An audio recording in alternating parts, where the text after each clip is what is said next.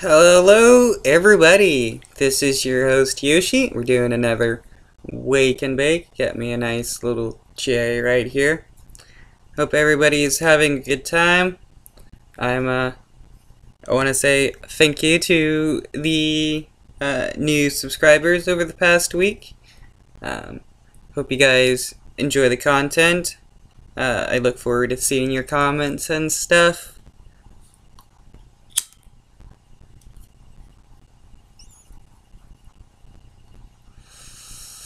Um, I like to do wake and bakes a lot. I got Tourette syndrome. And in the mornings, I gotta smoke and, you know, in order to be able to uh, properly function. Uh, though my wake and bake videos at the moment tend to be pretty uh, political due to the uh, massive amount of political stuff going on. It's, uh, it's, it's crazy we got the, uh, you know, they got the coronavirus and Trump, uh, uh, and, uh, what, uh, recordings of, uh, Trump admitting that, uh, man, I just, I just watched a video about this and now it's, like, all escaping my mind. I'm sometimes horrible when it comes to talking. Uh, uh, Bob Woodward, uh, released a, uh, audio clip of Trump admitting that he knew that the uh, that uh, the, the coronavirus was pretty uh, severe, uh, that it could cause a lot of deaths and stuff, and yet he continually went around and said it was a hoax, that the Democrats were lying, or people were lying, or whatever. So, Trump killed a bunch of people because if he wanted to, he could have had a totally different response, and a lot of people would have lived.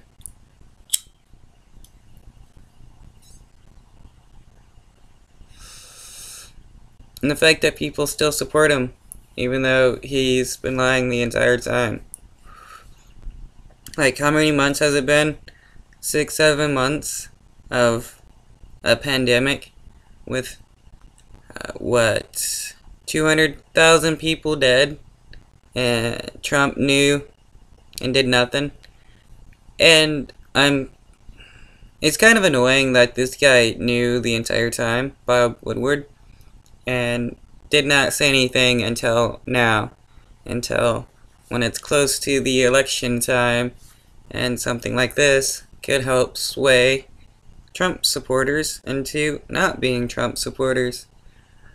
In my opinion, the guy should have come out with the information like the moment Trump started saying stuff against what he had told him.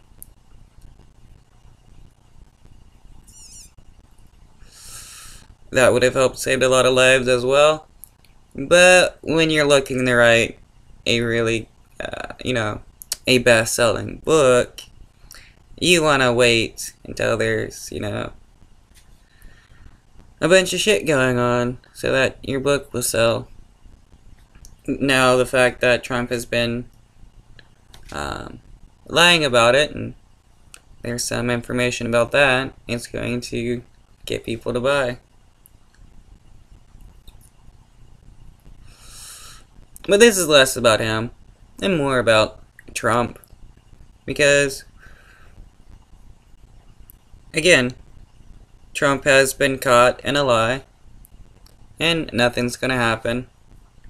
Because, as it's been proven, U.S. presidents, I mean, pretty much for most governments, the presidents or leaders, wh whatever they want to be called, can do whatever they want, and nothing happens.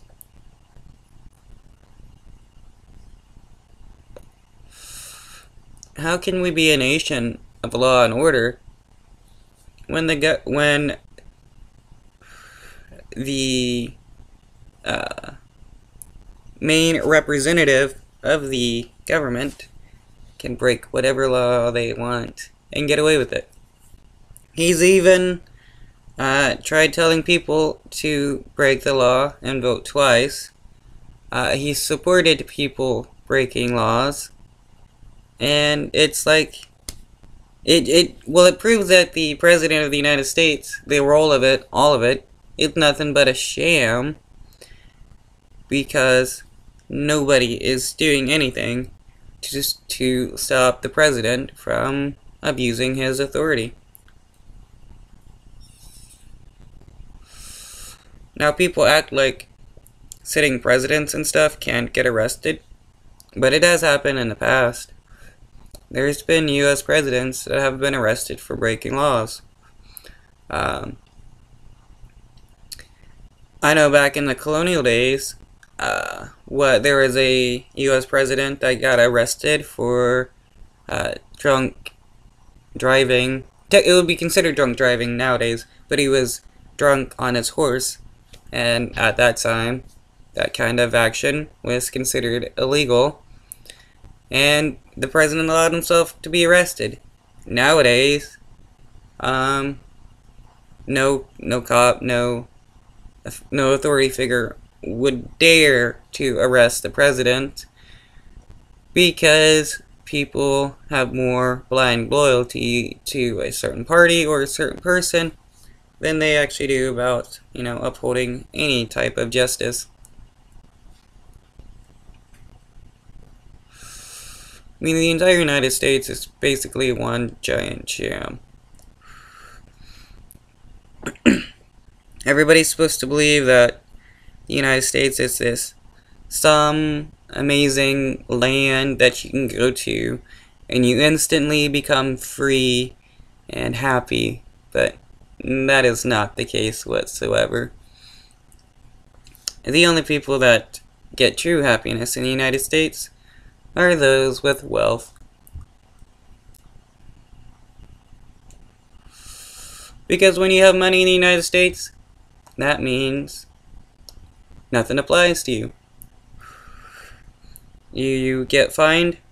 Eh, whatever. Just means you gotta throw a little bit of change somebody's way in order to uh, break some kind of law. If you're rich enough, you can even rape people and not go to jail because you could be somebody.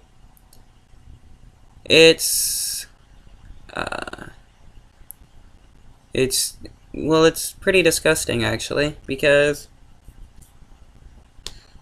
poor people are constantly punished while the wealthy people are are rewarded for their behaviors.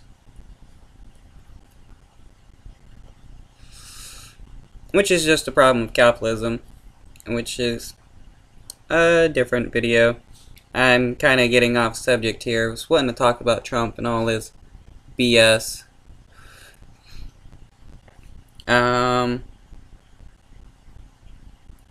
like, okay, he admitted to rigging uh, the election by um, using uh, Louis DeJoy to shake up the post office and cause problems, and nothing happens about that. Um, there's a few other things that he's basically admitted to, and it's been proven, uh, various crimes, and nothing happens.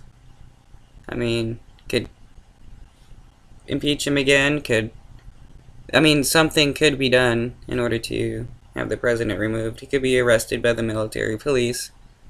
Um, I mean, just because he's the military commander, does that mean that the military has to obey every single command?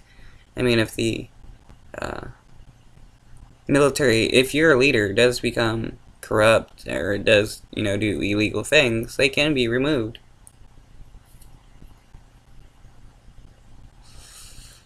But, as we know, the military and the National Guard will be siding with President Trump and the right wing once shit does truly hit the fan.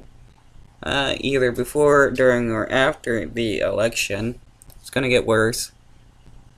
Um, Trump supporters are not going to accept that uh, he uh, may lose if he does. Trump is not going to accept that he uh, loses if he does. And if he does win, the right wing will be more emboldened to uh, commit physical attacks against POCs and people on the left. And with the fact that cops, a lot of cops are uh, white nationalist gang members, or they just, you know, think they, you know, there there are cops that are looking to kill black people and POCs. Um, there is a, a couple cops in a state close to here that uh, were fired over various racial remarks. It's known that uh, there are sheriff gangs. Um, there was a ex-cop who blew the whistle on some sheriff gangs in LA. Cops are known to, you know, uh, frame people. In Baltimore, cops were caught on body cam. Uh, plenty evidence. Cops are cops want to cause harm to people. They're not there to protect people. According to the Supreme Court, cops have no duty to protect people unless there was previously established reason, like um, cops were assigned to a person for um, to be watched or protected or whatever. Other than that, a cop can watch somebody uh, beat and stab you to death and not have to do anything. They don't even have to arrest the person. And this was upheld by the Supreme Court. Crazy, right? You know, taxpayer money is being funneled to these corrupt organizations, cops, for protection, yet they're not even required to protect you. What does that mean, though? I mean, if the people were paying to keep law and order and for protection are not required to abide by the law and protect people, that just means they're just a criminal orga organization that is state backed. I mean, if the sole justification for a cop being able to kill somebody is disobedience, then that doesn't mean, that means we don't live in a free society. Because the moment a cop says, do something, and you don't, they can outright kill you, and people will justify that by disobedience. Disobedience to who? Disobedience to the system. That's not a democracy, folks. That is a dictatorship. That's a fascist system. That is something other than actually people being free. I'm going to end this video here. I hope you guys enjoyed. Peace out.